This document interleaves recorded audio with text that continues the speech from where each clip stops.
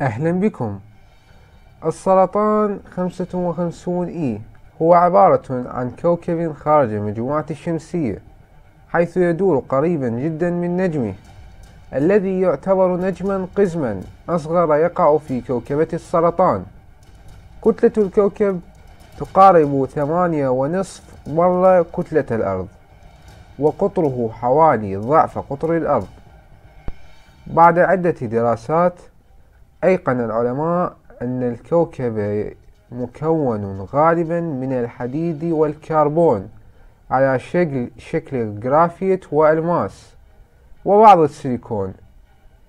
يعتقد أغلب العلماء أن سطح الكوكب مكون من الألماس والجرافيت. وتقول بعض الدراسات أن باطن الكوكب كله مكون من الألماس وتقدر قيمته بحوالي ستة وعشرين فاصلة تسعة نونيليون دولار وللتوضيح نونيليون يتكون من ثلاثين صفرا. ولكن قبل أن تفكروا في حزم حقائبكم للذهاب للكوكب فهذا الكوكب يبعد عنا أربعين سنة ضوئية. وللعلم فالسنة الضوئية هي المسافة التي يقطعها الضوء في سنة. وتقدر بنحو 9.46 تريليون كيلومتر أي أنها وحدة لقياس المسافة وليست لقياس الزمن كما يعتقد البعض. ولأن الكوكب يدور قريبا جدا من نجمه قد تبلغ حرارته ما بين 1648 و 2150 درجة مئوية على السطح. أي أنك ستتبخر إذا فكرت الذهاب إليه ويدور بسرعة كبيرة تجعل السنة فيه تنقضي خلال ثمانية عشر ساعة فقط بحسابات كوكب الأرض. وكان العلماء قد دونوا ملاحظاتهم حول تركيبة الكوكب بناء على قياسات كتلته التي سمحت لهم باستنتاج تركيبته الكيميائية. وكان اعتقاده في السابق أن ذلك الكوكب ربما يكون به ماء غير أنهم استنتجوا بعد ذلك أنه لا يحتوي على أي ماء على الإطلاق.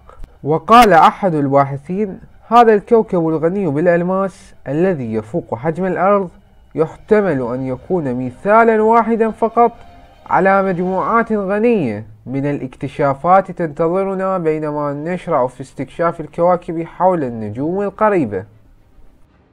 ويجب أن نقول بأن هذا ليس الكوكب الوحيد الذي اكتشف عليه الألماس لقد توصل العلماء الأمريكيون إلى أن أحجارا من الألماس قد تهطل على كوكبي زحل والمشتري. وأوضح العلماء أن بيانات جوية جديدة عن الكوكبين العملاقين تشير إلى وجود غاز الكربون بوفرة في شكل كريستالي متلألئ. وتحول العواصف الرعدية غاز الميثان إلى كربون الذي يزداد صلابة أثناء هطوله بحيث يصبح في صورة كتلة من الجرافيت ثم الألماس. وقد يصل قطر أكبر الماسات إلى نحو سنتيمتر وهي كبيرة على نحو يسمح بترصيع خاتم. بحسب كيفن بينس بجامعة ويسكونسن ماديسون ومختبر الدفع النفاث بوكالة الفضاء ناسا. وأضاف بينز يسألني الناس كيف يمكنني التأكد من هذا؟ وذلك نظرا لعدم وجود سبيل للذهاب هناك ورصد الظاهرة. الأمر يكمن في الكيمياء وأعتقد أننا متأكدون من هذا الأمر. الخلاصة هي أن ألف طن من الألماس يتكون فوق كوكب زحل سنويا. ولكن لن نستطيع أيضا الوصول إليه. فقد أشار الباحثون خلال مؤتمر علمي إلى أن هذه الأحجار البردية من الألماس تذوب في بحر سائل في مناطق ساخنة في الكوكبين ولفترة طويلة ساد اعتقاد بأن كوكبي أورانوس ونبتون يحتويان على أحجار كريمة لكن لم يسد مثل هذا الاعتقاد بشأن كوكبي زحل والمشتري.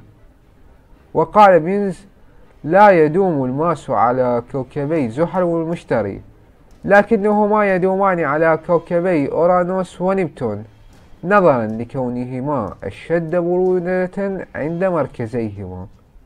إذا في النهاية يبدو أنه من الجيد أننا لا نستطيع الوصول لأي كوكب يحتوي الألماس بسهولة لأننا لو أحضرنا الماس للأرض وبكميات كبيرة فالألماس لن يكون له قيمة أصلا إن أصبح كثيرا.